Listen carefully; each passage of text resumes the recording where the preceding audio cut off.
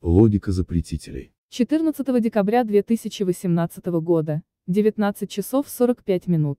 Екатерина Винокурова журналист, правозащитник, член СПЧ при президенте уполномоченный по правам человека Татьяна Москалькова сказала, что президент Владимир Путин поручил выяснить причины отмены в регионах концертов популярных рэперов. Этот вопрос действительно обсуждался на встрече Путина с Советом по правам человека. Отмена концертов рэперов началась этой осенью буквально ни с чего и уже прокатилась по многим городам и многим музыкантам. Рэпер Хаски и вовсе, попытавшись выступить прямо на улице, на крыше чужой машины, был задержан и сперва приговорен к административному аресту, однако потом освобожден от него. Существует несколько версий, объясняющих происходящее, жалобы родительских организаций на музыку, разлагающую детей описаниями наркотиков, некие черные списки исполнителей от силовиков, наконец, излишнее рвение региональных администраций в борьбе за нравственность. Что бы это ни было, инициаторы кампании против рэперов уже нанесли больше вреда не музыкантам, а самим себе. Во-первых, давайте сразу поговорим про наркотики и нравственность. Не хочется никого огорчать, но даже у группы. The Beatles. Есть песня. Lucy in the Sky with Diamonds. Просто прочтите аббревиатуру. Во-вторых, у Фредди Меркьюри был СПИД, Джим Моррисон был алкоголиком и наркоманом, что творили. Led Zeppelin.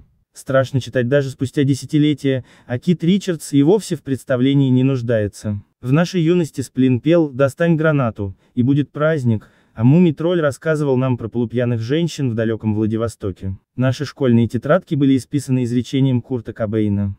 I hate myself and want to die. Да что там рокеры и неформалы. Лепс поет про рюмку водки на столе, Аллегрова, про объятия юных кавалеров без заключения брака. Надежда Кадышева поет про адюльтер, у Булановой лирическая героиня курит, но у Высоцкого приключения героев весьма часто происходит не на трезвую голову. При этом любительницы творчества Аллегрова из Санкт-Петербурга не штурмуют по пятницам Сапсаны, чтобы зажечь на выходных с московскими военными. Фанаты. Led Zeppelin. Не громят гостиницы. Любители.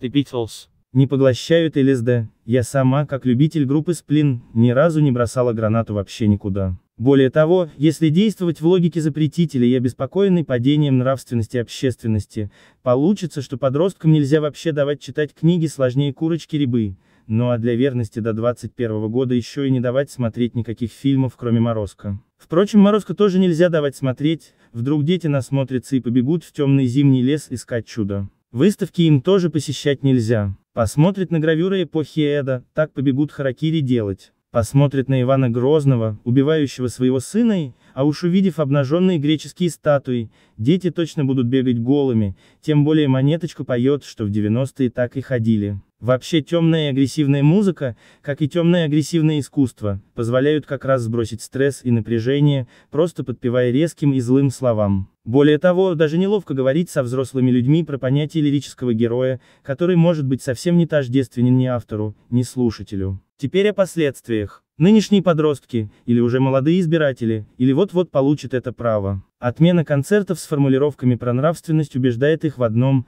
власть не просто враждебна, но еще и глупа. Более того, истерика про безнравственных исполнителей, которых надо запретить, особенно когда ее ханжески поддерживают депутаты или представители исполнительной власти, заведомо лицемерно. Дети и подростки чувствуют нынешнюю социальную несправедливость и тотальное лицемерие даже острее взрослых. И когда очередной представитель власти сперва говорит про нравственность, а потом садится в блестящий черный танк и уезжает в очередной дворец, становится очевидно, что единственная ценность, которую он исповедует на самом деле, это деньги, однако по какой-то причине он пытается заставить тех, кто слабее, жить по правилам, которых сам не придерживается. Наконец, вспоминая собственную юность, могу сказать, что наибольшим доверием у подростков пользовались не те взрослые, которые считали, что если ты одет в черное, значит ты потенциальный наркоман. Дети таких родителей обычно просто тайно покупали себе второй комплект одежды и, выйдя из дома в приличном виде, переодевались в подъезде и вели двойную жизнь. Наибольшим уважением пользовались у собственных детей те родители, которые говорили, не понимаю я твою музыку,